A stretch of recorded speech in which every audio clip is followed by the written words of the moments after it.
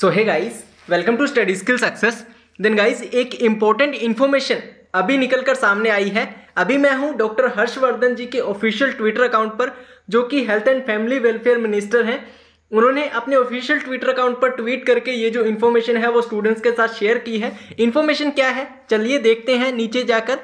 तो ये उनका ऑफिशियल ट्विटर अकाउंट है। एक घंटे पहले उन्होंने ऑफिशियली अनाउंस किया है कि आपका नीट पीजी 2021 का जो एग्ज़ाम है, जो कि 18 अप्रैल 2021 को होने वाला था, उसको फर्दर डेट के लिए पोस्टपोन कर दिया गया है ड्यू टू कोविड 19 आपने देखा कि कोविड 19 के केसेस साल में दो दो लाख तक आ रहे हैं। इसी के चलते जो नीट पीजी 2021 का एग्ज़ाम जो है, वो उसको पोस्टपोन कर दिया गया है। ये देखिए नीचे भी दो से तीन ट्वीट इनके द्वारा किए गए हैं। ये जो ट्वीट है, वो 48 मिनट पहले किया गया है।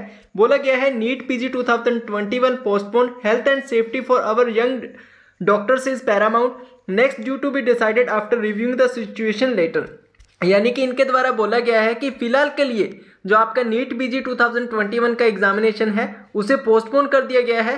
फर्दर नेक्स्ट डेट के लिए और नेक्स्ट डेट जो है वो करंट सिचुएशन को देखते हुए निकाली जाएगी। अभी तक कोई भी नेक्स्ट डेट नहीं रखी गई है। जैसे ही कोई नई डेट निकाली जाती है, उसकी भी इंफॉर्मेशन आपको चैनल पर दे दी जाएगी। फ़िलहाल इंफॉर्मेशन ये है कि नीट पीजी 2021 के एग्ज़ाम्स को फ़िलहाल के लिए पोस्टपोन कर दिया गया है। आगे की जो भी डेट रहेगी, वो ऑफिशियली इनके द्वारा अनाउंस कर दी जाएगी। फ़िलहाल ये थी आज की इन्फॉर्मेशन उम्मीद करता हूँ वीडियो आप सभी को पसंद आई होगी। देन अगर वीडियो पसंद आई तो वीडियो को लाइक एंड शेयर ज़रूर कीजिएगा।